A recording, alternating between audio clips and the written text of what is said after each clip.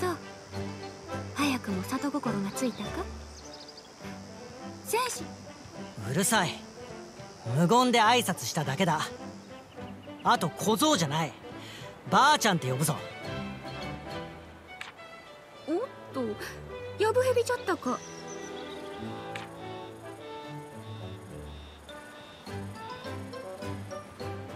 器具の省力化と光の種の安定化いずれも里人に気づかれないようじっくりしなんで隠すんだ？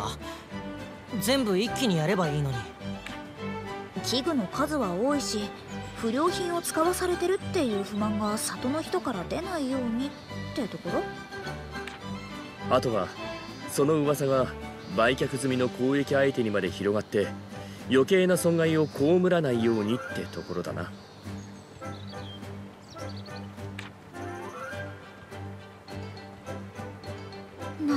ほど。まだまだ師匠にはかなわないな。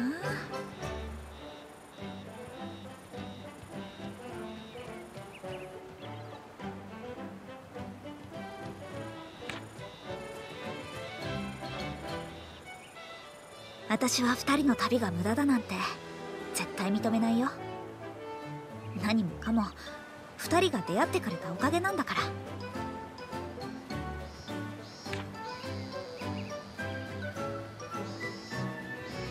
何の話だ？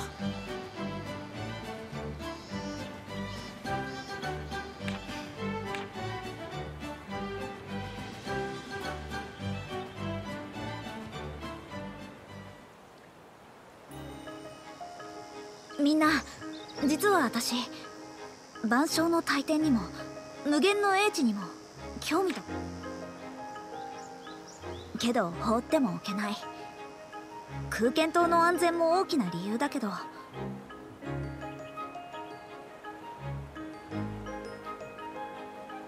何より同じ錬金術師として許せない。錬金術でやっているってことが絶対に許せない。この後に及んで私の元に現れて何が目的なのか知らないけど。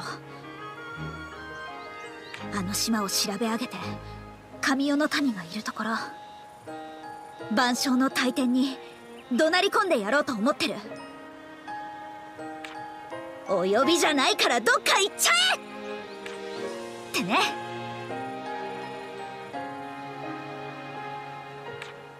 いいじゃねえか。それで行こうぜ。ライザらしい。俺たちの世界でも異界でも迷惑をかけまくったんだろええどれだけ時代が離れていようと怒られて当然のことです。当初の目的は変わってない。島をどうにかする。その奥に潜むものが何であれな。みんなで解決しよありがとうみんな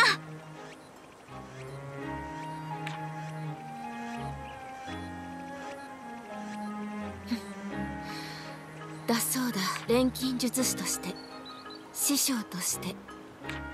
課題が多すぎてまだわからん。もし本当にキャツラが見つかったらどうしてくれようか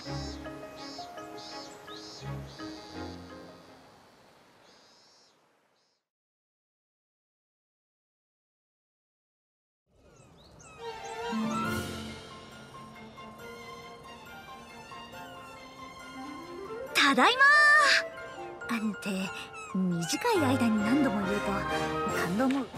ライザも旅慣れてきたってことさ。俺は空間島に戻ってくると落ち着くぜ。私は帰った時のことを思うと恐ろしくて考えたくありませんが。それは自業自得だろう。俺にタオにクラウディアまでどれだけ言い訳めいた手紙を送ったとまあまあ。ボルカーさんにも渋々だけど自己承諾をもらったじゃないか。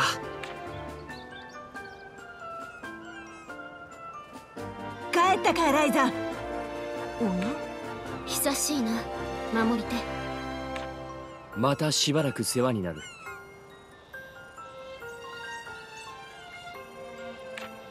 錬金術師殿と護衛の戦士殿。軍刀の問題を片付けるためライザに呼ばれたのか？まそんなところだ。またご厄介になります。さああなたもご。仕切らなくても挨拶ぐらいできる。俺はフォーレのディアンだ。よろしくな。カライデアスじゃ。よしなに。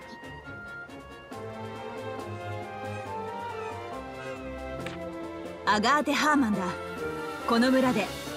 それにしても帰るたびに人数が増えるな。いやなんでかな。あアガーテ姉さんあれから軍刀の方はどんな感じ？幸い静かだが代わりに空見塔がうるさくてな。噂がますます広まって見物客も。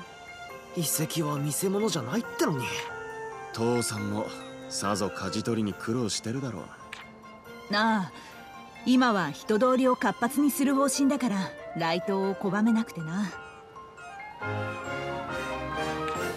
あの空間塔がね変わモリッツさんは空間島の立地を生かして交易の中継地にする計画を進行中だからね。そのためにもうーんアンペルさんカラさん帰って早々だ。もちろんだ。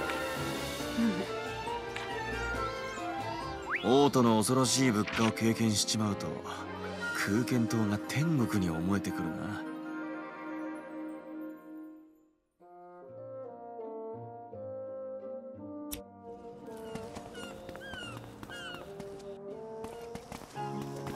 おこれは大人数でちょうどいい。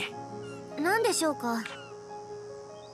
実はね今度体が温まるスープを商品化しようと考えて君たちにもぜひ飲んでみてもらいたいんだ。ほほう。スープとは気になる体が温まるというのはいいですね。どうかな？これ結構美味しいんじゃない？私は割と好きかも。商品化したいって言ってましたけどこれなら十分可能性があると思います。わらわの里ではこんなスープを飲む機会はないんでなそうか。少し心配だったけど旧大点はもらえそうかな。これはそんなに辛いかな。確かに体を温めるために辛み成分辛いか辛くないかと言われれば辛い方になるんでしょうけどそこまでとは。ええ全然。私はもう少し甘い方がいいと思うがな。いやいっそ甘いスープにすねえ前から思ってたけどアンペルさんって何を言うか。頭脳を使う時に甘味がどれだけ重要な意味を持つか。そうなのかもしれないけど程度っていうのか？そうだアンペル。お前はもっと甘いものを節制すべきだ。体に良くない。なんなら。お前の食事は私が徹底的に管理してやってもいいんだぞ。分かった分かった。そう口うるさく言うなそうだな。今のこの旅が終わアンペルさん直す気全くないよねこれ。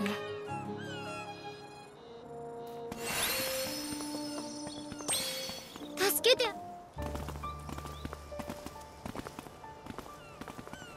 アガーテ姉さん。どうしたの？お前たちか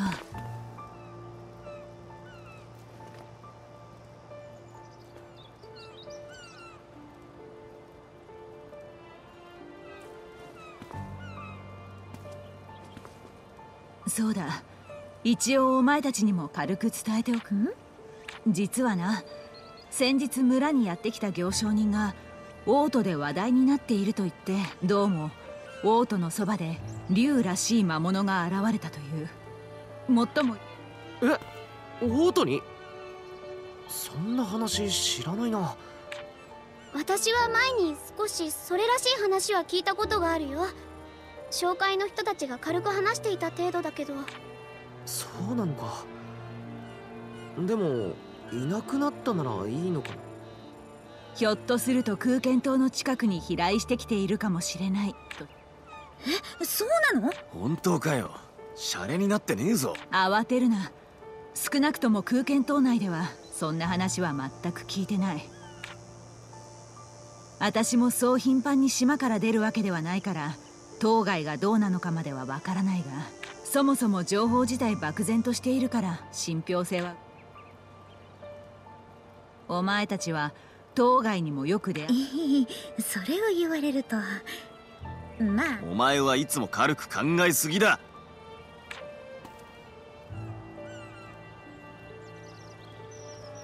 王都の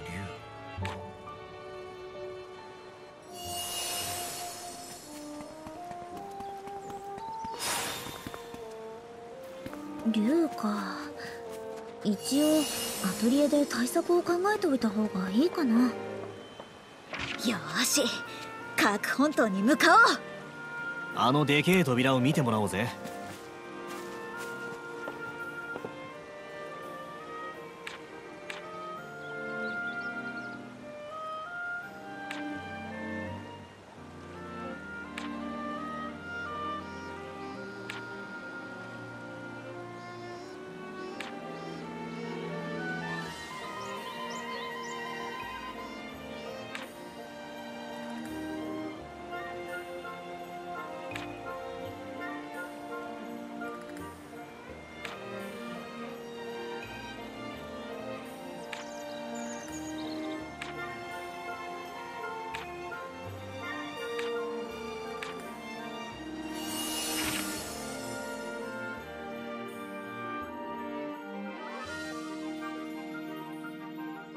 ここにしよう。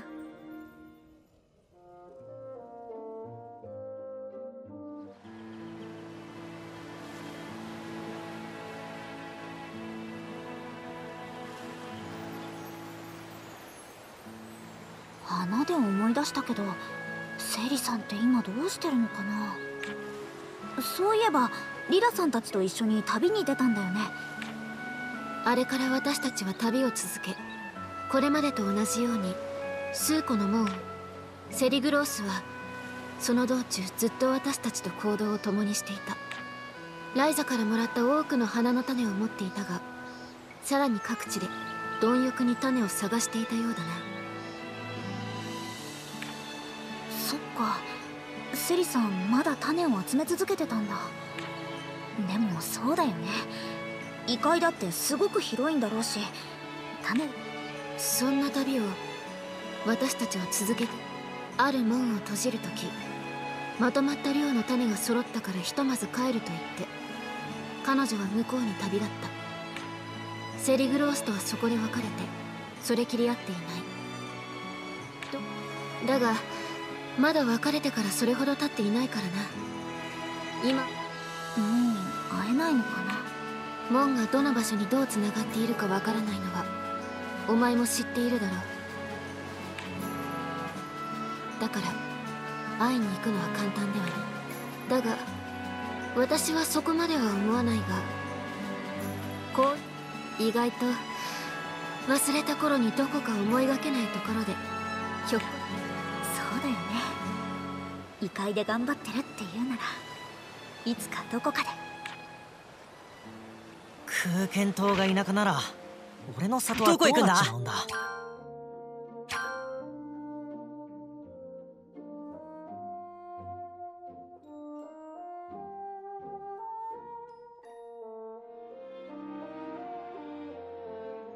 ここがいいな。